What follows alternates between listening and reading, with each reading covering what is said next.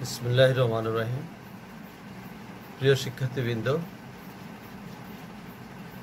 আশা করি তোমরা ভালো আছো। করোনার এই দুর্যোগকালীন সময়েও তোমরা তোমাদের যে মূল কাজ, মূল দায়িত্ব, তোমরা তোমাদের পড়ালেখা চালিয়ে যাচ্ছ এবং অনলাইনের ক্লাসের কার্যক্রমে তোমরা অংশগ্রহণ করছ। তো আজকে এই পর্যায়ে তোমাদের অনার্স ফাইনাল ইয়ারের জন্য, অর্থাৎ চতুর্থ বর্ষ অনার্সের জন্য তোমাদের জন্য একটা লেকচার শিট তৈরি করেছি। তো আশা করি তোমরা মনোযোগ দিয়ে দেখবে, পড়বে মুখস্থ করবে এবং তোমাদের কাজে আসবে এবং তোমাদের এই বিষয় খুব কঠিন। এই বিষয়টা বেশি করে পড়তে হবে এবং এই বিষয়ে ফার্স্ট ইয়ার থেকে এই পর্যন্ত এই বিষয়ের সাথে সম্পর্কিত তোমরা নয়, এটা নতুন সাবজেক্ট দক্ষিণ পূর্ব এশিয়ার ইতিহাস। তো সেখান থেকে আজকে আলোচনা করছি। তো আজকের টপিক হলো পর্তুগিজদের মালাক্কা দখল ও অঞ্চলে তাদের ঐতিহাসিক ভূমিকা আলোচনা করে।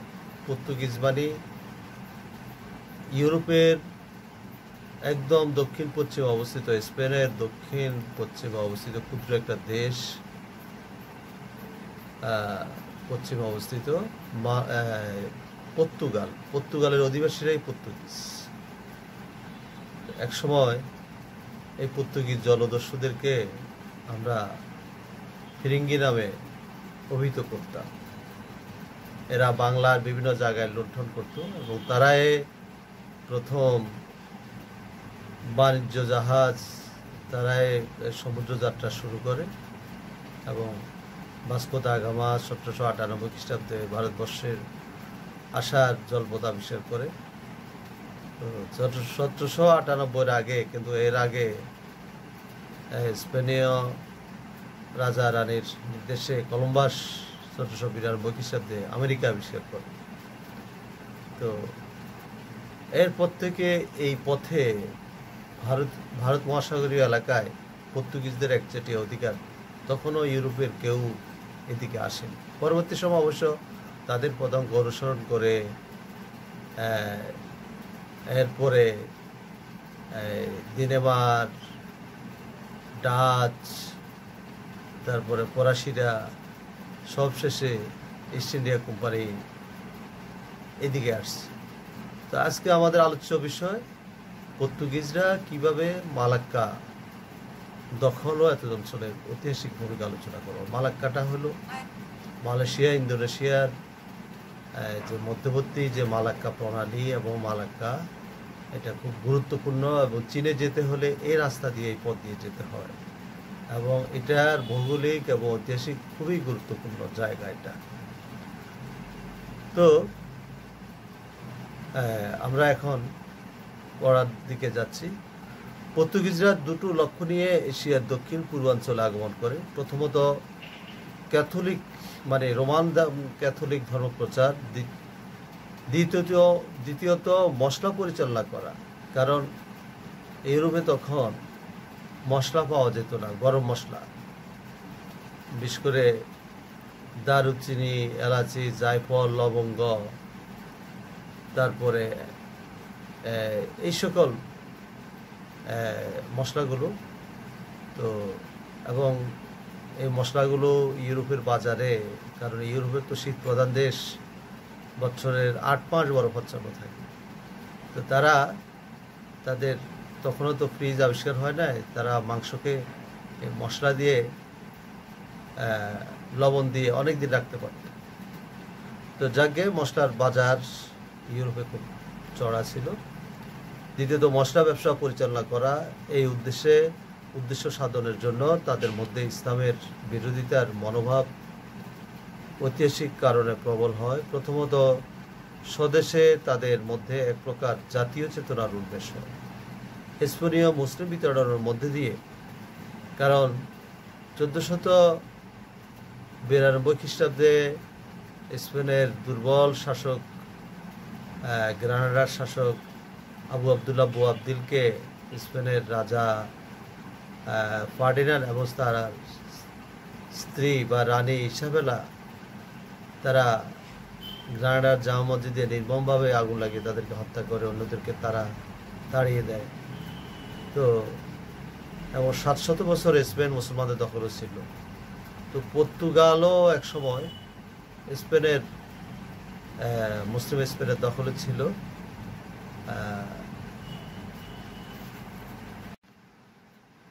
মুসলিম- স্পেনের দখলে ছিল। এবং তারাই স্পেনের অধীনে ছিল এবং স্পেন মুসলমানদের দখলে ছিল। এই কারণে তারাও মুসলমানদের বিরুদ্ধাচরণ করে। কিন্তু মুসলমানরা তো সেখানে এটাকে কলোনি হিসাবে প্রতিষ্ঠা করেনি, ওইখান থেকে ধন সম্পদ লুণ্ঠন করেনি বা নিজ দেশেও আনেনি, সিরিয়া দামেশকে আনেনি এবং ওই দেশের মাটি মানুষকে তারা ভালোবেসে থেকে গেছে এবং কোনো খ্রিস্টানকে তারা অত্যাচার করেনি। তারপরেও তারা মুসলমানদেরকে ঘৃণার চোখে যাক, আমরা ওদিকে এখন যাচ্ছি না।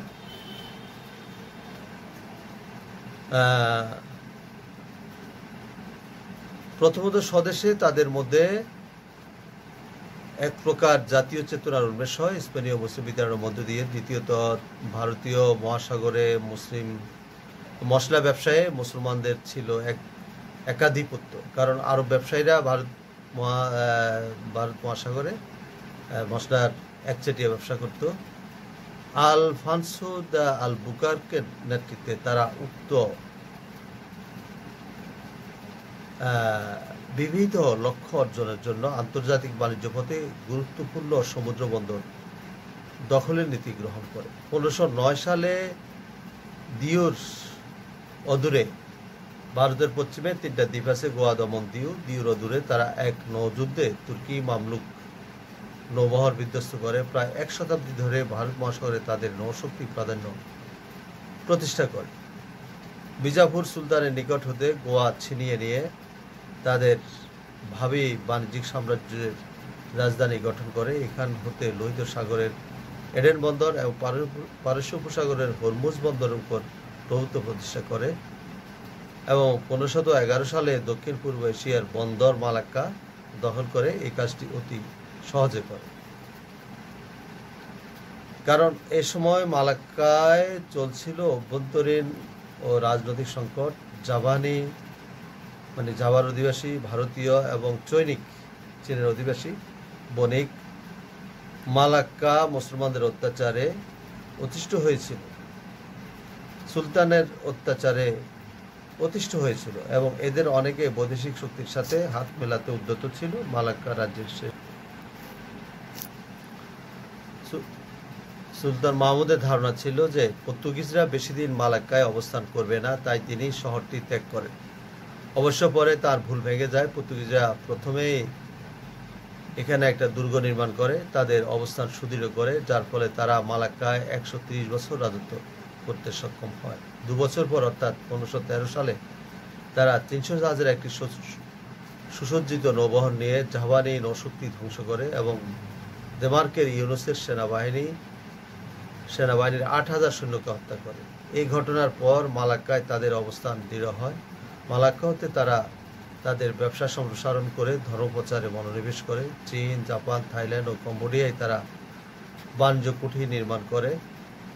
পনেরোশো এগারো থেকে বারো সালে তাদের মালুকাসের প্রথম মিশন ব্যর্থ হয় বটে। তবে দশ বছর পরে টার্নেট ও টিডোরের মধ্যকার সুযোগ গ্রহণ করে তারা টার্নেট সরকার নিকট হতে কিছু সুবিধে আদায় করে এবং অ্যাম্বোস ও সান্তাস অনুরূপ বাণিজ্য সুবিধা আদায় করতে সক্ষম হয়। এই অঞ্চলে পর্তুগিজদের আকস্মিক আগমন এবং তাদের এই অঞ্চলে আগমনের একটা গুরুত্বপূর্ণ দিক হলো খ্রিস্টান ও ইসলামের মধ্যকার বহুদিন, বহুদিনের সংগঠিত সংঘাতটি তারা ইউরোপ হতে এই দ্বীপপুঞ্জে নিয়ে আসে, বস্তুত এখানে ইসলাম প্রসারের একটি কারণ হয়ে দাঁড়ায়। পনেরোশো নয় সালে দিয়াগো লোপেজ দ্য সেকুয়েরার অভিযানের বিরুদ্ধে মালাক্কা প্রতি মালাক্কার প্রতিক্রিয়ার মধ্যে তাই প্রকাশ পায়। মালাক্কা, মালাক্কায় অসংখ্য গুজরাটি মুসলিম বণিক বসবাস করত এবং তারাই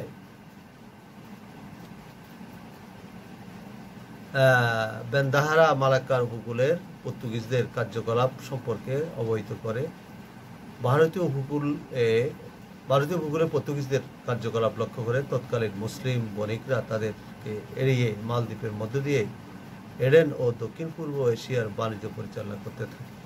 এই কারণে পর্তুগিজরা আরও পূর্বাঞ্চলে অভিযান চালার জন্য প্রলুব্ধ হয়। পর্তুগিজদের মালাক্কা দখলের তাৎক্ষণিক ফল দাঁড়ায় যে মুসলিম বণিকরা আছের দিকে ঝুঁকে পড়ে এবং আছে ও চুরে আন্তর্জাতিক বাণিজ্য কেন্দ্রে পরিণত হয় এবং দ্বীপপুঞ্জের একটি শক্তিশালী নগর রাষ্ট্রে পরিণত হয়। পর্তুগিজরা যত ইসলামের বিরুদ্ধে অভিযান চালায়, পর্তুগিজদের বাণিজ্যিক প্রতিযোগিতা প্রতিহত করতে ইচ্ছুক সকলে ততই ইসলামী ঝান্ডার তলে সমবেত হতে থাকে। জাভায় মাজাপাহিত হিন্দু রাজার সাথে পর্তুগিজরা একটা চুক্তিপত্রে স্বাক্ষর করে এবং পাঁচ বছর পর সেখানে তারা বাণিজ্য কুঠি তৈরি করে।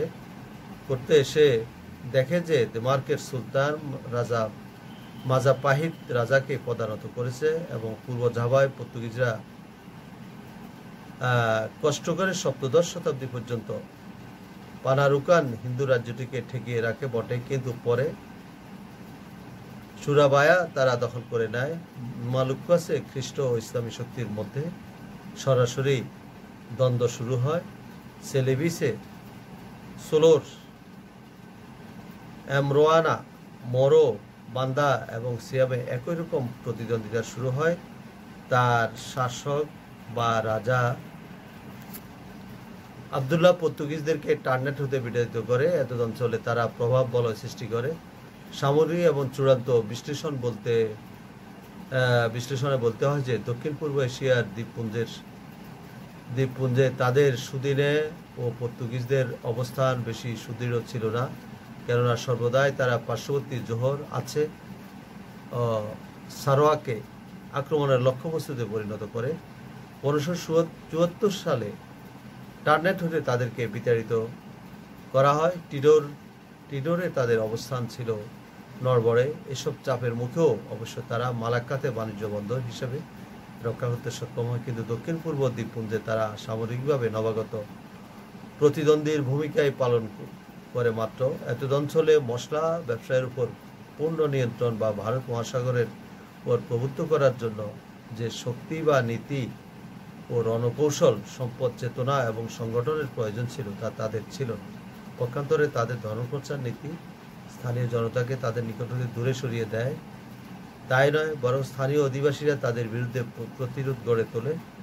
তাদের উদ্দেশ্য সফল না হলে, না হলেও এই কথা অনস্বীকার্য যে মশলা ব্যবসায়ের উপর তাদের একচেটিয়া মূলনীতি এই অঞ্চলে স্থানীয় কৃষকদের মশলা চাষে উৎসাহিত করে। এই কারণে মশলা পণ্য উৎপাদনের মধ্য দিয়ে টার্নেট ও টিডোর অভ্যুদয় হয় এবং জাভানি প্রভাব বৃদ্ধি পায়। কাজেই বলা চলে, পর্তুগিজরা এই অঞ্চলের ইতিহাসের ধরনটি বদলাতে আদৌ সক্ষম হয়নি। শুধু প্রত্যক্ষভাবে অঞ্চলে উৎপাদন শক্তির উন্নয়নের ও অগ্রগতির জন্য অবদান রাখে।